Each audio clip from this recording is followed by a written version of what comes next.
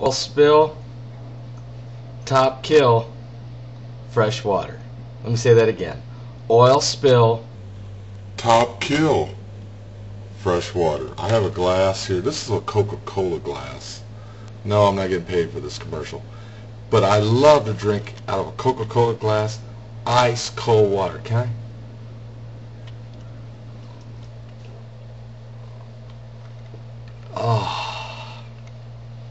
Let's say it again.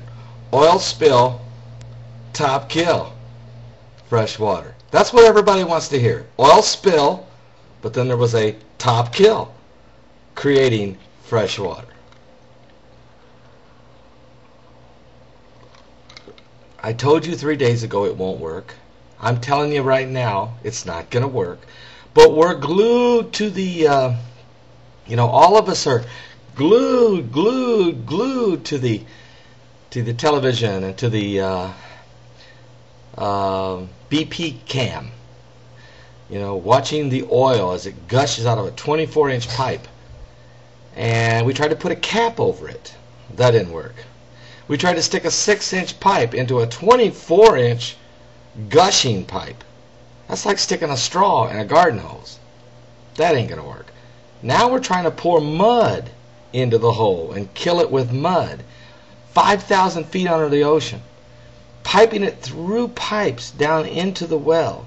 Trying to kill it, what's called a top kill. The president, the CEO, excuse me, of BP gives it a 60 to 70% chance. The president of the United States, no guarantees. Paul Begley, it ain't gonna work. I mean, it's a pipe dream. no pun intended. And it's a oil spill, a top kill.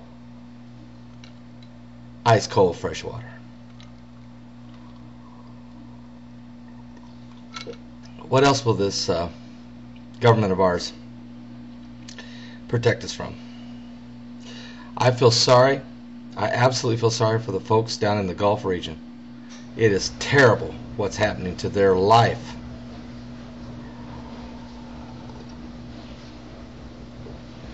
I'm Paul Begley reporting.